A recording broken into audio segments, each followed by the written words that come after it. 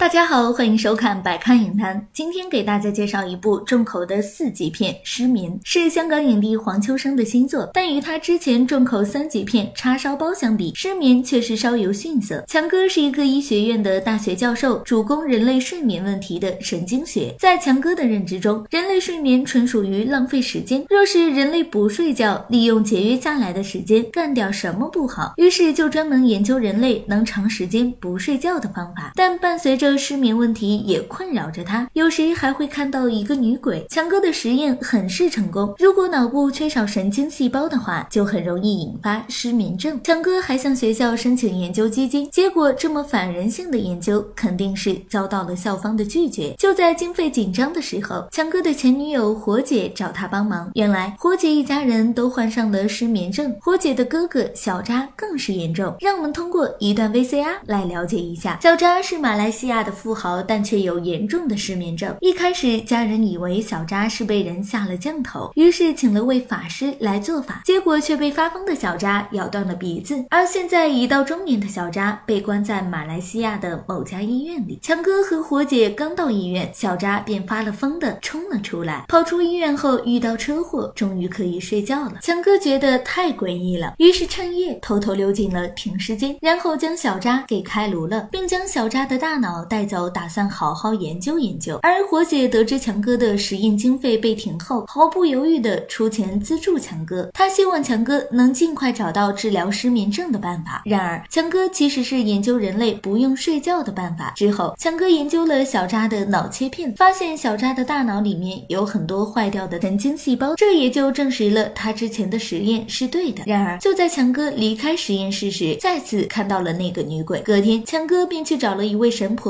把自己去世的父亲请了出来，询问父亲此前经历了什么。画面转到了一九四一年，日军攻占香港，到处烧杀掳掠。那时强哥才四五岁，强哥的父亲出生在日本，不仅会说日语，还喜欢日本书籍。日军关键词便拉拢强哥父亲为其卖命。为了儿子和老母亲的强哥父亲同意了。而强哥父亲的汉奸上司小健是一个所谓的慈善负责人，主要就是搜刮老百姓的钱来养鬼子们的吃喝玩乐。这天，日军官将强哥父亲调到慰安所做事，里面关押的全是掳来的姑娘，而强哥父亲本就不是自愿当汉奸的。于是几个小姑娘求助强哥父亲，强哥父亲便放了他们。可惜几个姑娘还是死在了鬼子的枪下。被日军官教训的小健去找大胡子看病，结果大胡子拒绝了，随后便是一顿揍。而大胡子的女儿小佳和小曼不忍父亲挨打，便从楼上跑了下来，结果姐妹俩便被小健给抓走。了，而大胡子也被刺死。大胡子原本会茅山术，而大女儿小佳不仅有阴阳眼，还继承了父亲的真传，但内心却羡慕妹妹小曼。姐妹俩以及几个女孩被带到了日军大本营，而日军官还将小曼送给了强哥父亲，小佳却被关进了慰安所。当夜怀恨在心的小健就将小佳给强暴了，事后小佳就给小健下了降头。另一边，强哥父亲将小曼带回了家养着，并答应会帮帮忙照顾他。的姐姐小佳，然而现在的小佳心里只有仇恨，于是，在临死前给强哥父亲也下了降头。没过多久，强哥父亲开始失眠，出现幻觉，而小曼也知道姐姐已经死了，怀疑是小佳给强哥父亲下了降头，于是去乱葬岗找到小佳的尸体，将他入土下葬了。当年年幼的强哥也在场，最后强哥父亲便和小曼成了亲，但强哥父亲幻觉更加严重，失眠的强哥父亲还差点将强强哥给掐死。小曼救下强哥后，便被强哥父亲给杀了。随后，强哥父亲拿着菜刀去了日军大本营，将日军官给杀了，而强哥父亲也死在了鬼子枪下。镜头回到现在，已经失眠几天的火姐找到强哥，自愿做强哥实验的白老鼠。强哥先对火姐使用了正常的气态蛋白质，当夜火姐就睡了一个好觉。隔天，强哥便将气态给偷偷换成了另一种具有亢奋作用的气态。之后，火姐便开始失眠，无论多。困就是睡不着。这天，郭姐告诉强哥，自己曾调查过自己的爷爷，而他的爷爷便是同样被下降头的汉奸小静。这个降头会一代一代的传下去，而强哥也有失眠症的，就是因为当年奶奶带他去了乱葬岗，强哥便开始出现了幻觉。也因为此时强哥还将奶奶给闷死了。几天后，当强哥再次来看火姐时，火姐已经开始变异自残了，而此时的强哥却露出了笑容。然后便将活姐给吃了。最后，强哥被警方逮捕，而这个实验室大楼便是当年埋葬小佳的地方。好了，我们今天就说到这里，我们下期不见不散。